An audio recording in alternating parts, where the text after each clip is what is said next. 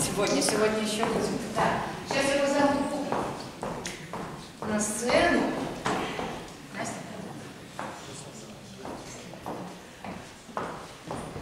Вот смотрите, вот я вам только что рассказала про Мэтца Сопрано. И вот еще один театр, который вырос у нас в Петербурге не так давно. Это так называемый мюзик-холл. Только не пугайтесь, там от мюзик-холла, то есть где ногами так делают, не осталось ничего совершенно. Это совершенно нормальный, прелестный театр, куда сейчас э, сделал активный прием молодежи, да? И вот очень многие из нашей такой компании, они попали туда, и там сейчас работают, и у них это замечательная площадка совершенно. Вот, и среди них Анастасия Михалевская, та самая прелестная меццо-сопрано. Вот, на долю которых так мало выполня... Э, выпадает любовных арий, и выпадают все какие-то комические старухи, не мальчики переодетые. Но сегодня Анастасии повезло. У нее будет сразу две совершенно потрясающих центровых сопранового репертуара арий. И начнем мы,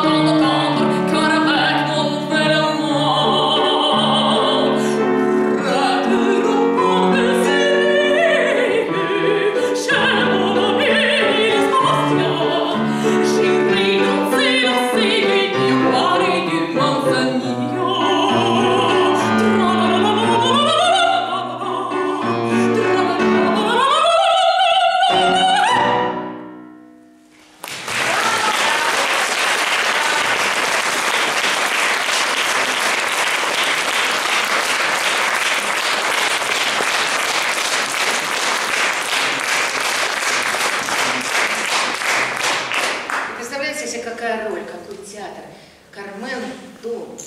Кармен, которая не собирается никого обойти. Ну, она просто... Это вот она приходит в кабачок Легаспастия, да, она разговаривает очень тихо, очень тихо разговаривает, и сколько в этом, да, сколько зайцев скрыто, да, ее безумного, притягательного вот этого очарования, да. Вот это одна такая ария. А теперь еще одну сторону покажет Анастасия Михайлевская. Это знаменитая, знаменитая Далила. Самсон и Далила. У нее там вообще-то три арии. И вот эта ария, она э, происходит, вот представьте себе ситуацию, представьте себе такой театр, и вот представьте себе театр действий, да, такой горизонт событий. Самсон, который очень с опаской относится к Далиле, она его всячески прельщает. Для чего? Для того, чтобы убить его, извести, потому что он враг ее народа, он враг филист... он, понимаете, он представитель филистимлян, и она знает, что вся сила в его длинных волосах. И для того, чтобы его зачаровать, и э, вот э, она при- принимает все вот эти попытки. Ну и она сама тоже очарована Самсоном. Вот в чем беда. И вот Далила вообще-то куртизанка была, да?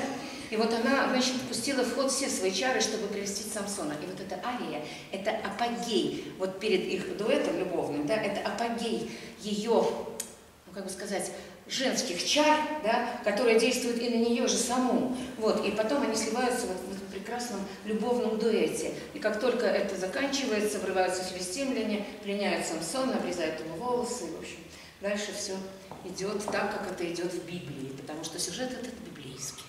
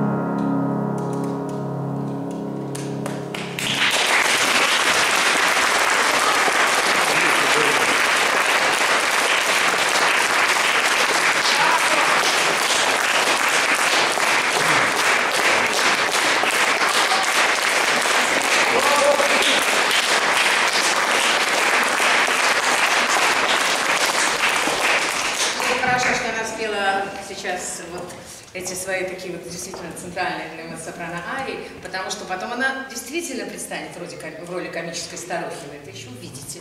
Сейчас я посмотрю, что у меня там еще есть.